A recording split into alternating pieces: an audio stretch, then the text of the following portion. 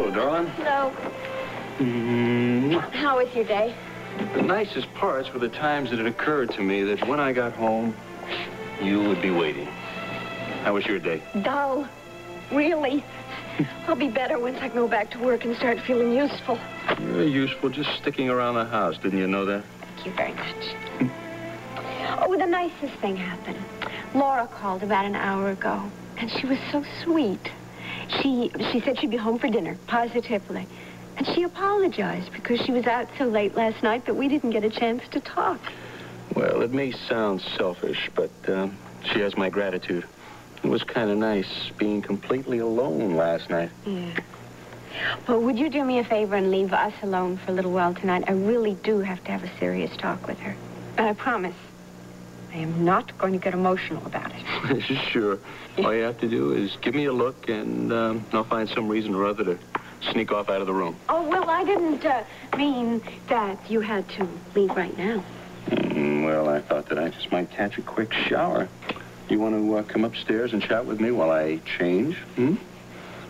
As soon as I check on dinner, it's in the oven. Mm, good idea. That would uh, still leave us a little time, my love, before Laura gets back. I'll be there in a minute. Great. You will find me squeaky clean. I wonder what he meant by that. She ought to get an abortion. And uh, she said that she also had friends who could prove that she was telling the truth.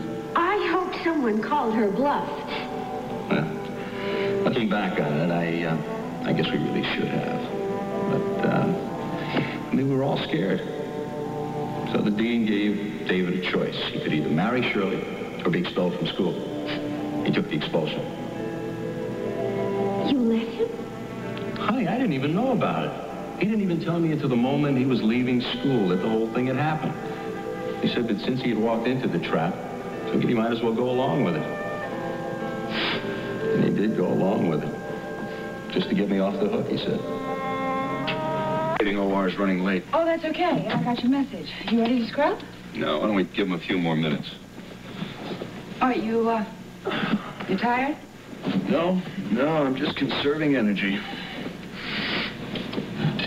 I, uh, I hope Leslie understands the reason for my visit the other day. Oh, she understood. I understood. We both understood. Well, I mean, I heard about her sudden trip out of town.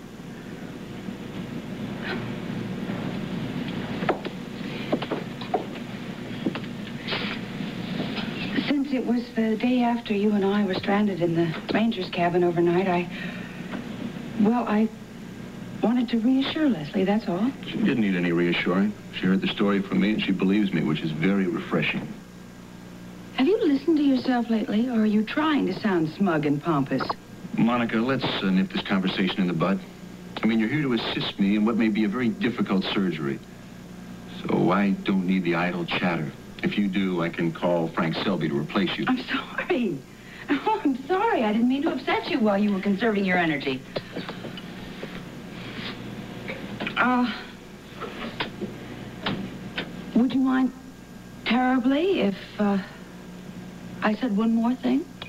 If it's more unpleasantness, I'll cut you off before you even finish the sentence, and then I'll call Frank Selby. I merely wanted to tell you that I disregarded Alan's orders about the cop to run on purpose. Figures.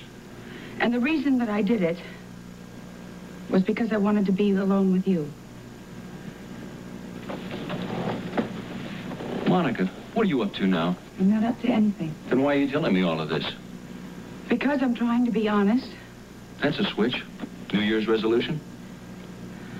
I'm not a good loser, Rick. I never have been, and I'm not now. Spare me the confessions, please. I don't want to hear it.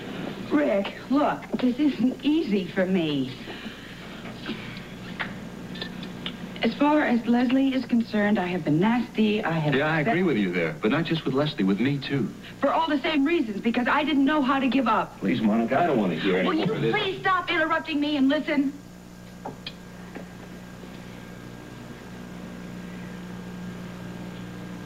Neither you nor Leslie has to worry about my hatching up any schemes anymore. Oh. And to what do we owe this marvelous metamorphosis? You don't believe me, do you? Well, it doesn't matter because I intend to finish what I'm going to say because it's important to me. Lately, I have learned a lot about honesty. And it's turned my whole world around, and I like what it's done. Good. Finished? If you say you believe me, because that's important to me. I'm willing to wait and see what happens. And judge you by your future actions, okay? Excuse me. Dr. Webber. Yeah, I'll be right there. They're ready for us. Uh, shall we go back to our professional relationship now?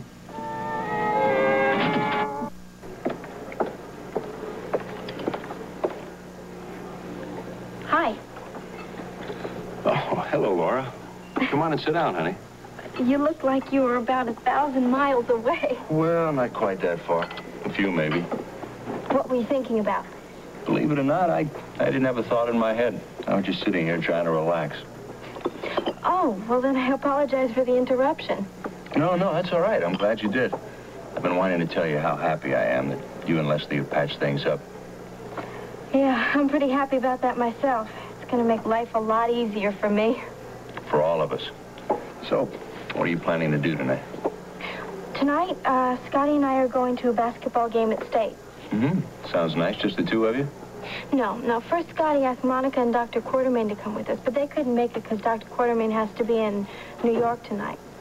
So Scotty's roommate, Darren, and Barbara Spencer are coming along with us instead. Mm-hmm. That sounds like a better arrangement to me. I should think you'd want to be with people your own age. Oh, Rick. What's the matter, honey? I just can't understand why everyone puts so much emphasis on age. It's as if people run around saying, uh, I'd like to be your friend, but I'll have to check your birth certificate.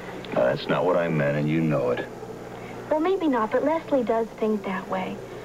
You know, Scotty and I had such a marvelous time with Monica and Dr. Quartermaine on Thanksgiving, you know, when we went to the football game.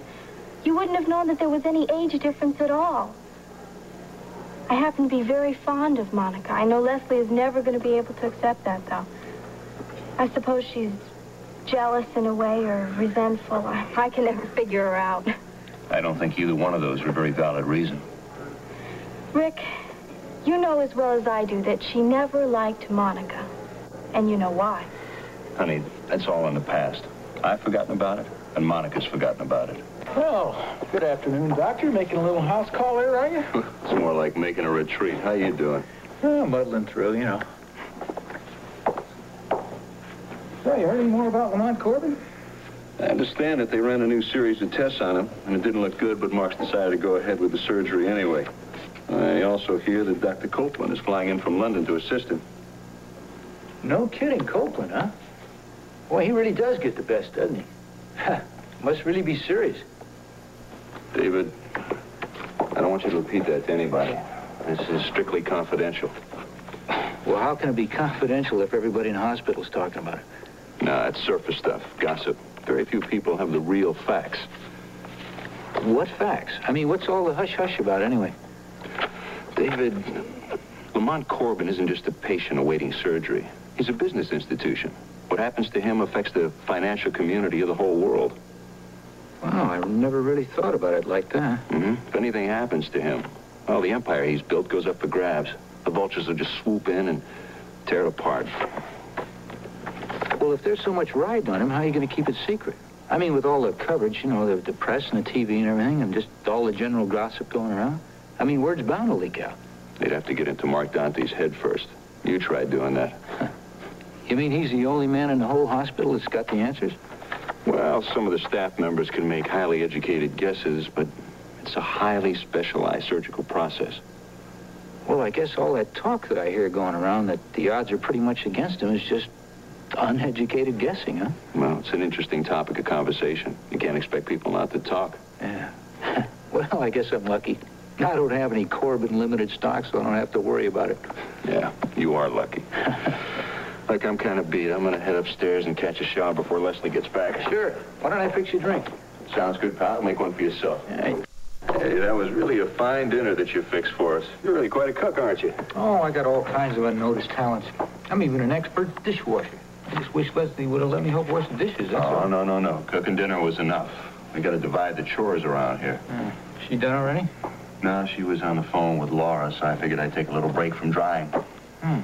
I thought Laura was going to have dinner with us tonight. Well, so did I, but I guess she decided to have dinner with Scotty before going to the basketball game. Yeah. What are you reading? Oh, just uh, looking at the one ads here. Don't you find the prose leave a little bit to be desired? well, I'm not really reading for pleasure. It's more for profit. I found one here that looks kind of interesting.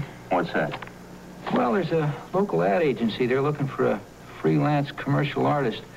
I might check into that. Yeah, it sounds right up your alley. Yeah, but I'm not so sure. Well, why not? I don't know if I got enough talent for a job like that. I mean, maybe I've been kidding myself all this time. You know, I never really thought about actually competing for a paying job with somebody in that field. Come on now, I want to see a little more self-assurance from you. You can do anything that you put your mind to, David, and you know it. You think I can, huh? Darn right you can. Yeah, I guess you're right. I just need a little more self-confidence. I think what I'll do is take my portfolio and go down there in the morning. And what's the worst thing they can do but say no, right? Right. But I have a feeling you're going to do just fine. And I'll tell you something, I'm really proud and happy that you're going down there. oh, thanks. Well, listen, you think I could get you and Leslie to give me a ride down in the morning? Sure, we'd be glad to. Where do you have to go exactly? Oh, I can. You're drinking too much coffee. Me? What about you? You're matching me cup for cup. I had a hectic morning in the clinic. Oh, and I didn't? Fine thing. Guy completes his morning rounds, runs into his wife, who he happens to love and adore, by the way. She says, no more coffee. First, you're supposed to say, I love you. Then, no more coffee. I love you. No more coffee. That's better. Hello. Hi. Have you met Barbara Spencer? Barbara, this is Dr. Webber and Dr. Webber. How do you do? I'm very happy to meet both of you. Hello, Barbara. We've heard a great deal about you. Laura tells me that you've become very good friends. Laura's told me a lot about both of you. I should enlarge on this introduction to tell you that this young lady is the most energetic person ever assigned to the seventh floor. I brought her here for a reason. Barbara, this is the lounge where you can let up and relax. I'll remember Miss Fleming. Did Laura get off to school all right? Oh, yes, fine. We had breakfast together, and then I walked her to the bus stop. It was very nice of you to invite her to stay with you. Oh, well, I knew that the basketball game wouldn't be over until late, and it, it saved Scotty from driving all the way back to your place from state campus. Mm-hmm. Do you live near the campus? Pretty close. Scotty and his roommate Darren took us out for hamburger after the game, and then they dropped us off early because they had a lot of studying to do. Well, you must come and stay with Laura sometime. We'd love to have you visit. That's very nice of you, Dr. Webber. I really appreciate the invitation. Uh, maybe I'd better get back now. Oh, but there's no rush, Barbara. Can't you relax? I really enjoy being busy. Uh, excuse me. I, I hope to see you again very soon. Yes, soon. Take care. Isn't she the limit? She never stops. I only wish I possessed half the amount of energy she does. I think you do just fine in that department, Dory. Yes, Dory, I agree with Rick. You don't have to take a back seat to anyone. Hello, Doctor. I didn't see you come in. well, if you'll excuse me, I have to get back to the station. I uh, take it Laura and the Spencer girl have become good friends. Yes, they seem to be. Wow, that's nice. Laura needs someone more her own age to talk to. I agree. Uh, did I overhear uh, th- that uh, Laura spent the night with Barbara? Yes, because they get back late from a basketball game. Oh. Well, Leslie, your little girl is really growing up, isn't she? A movie, and Jack and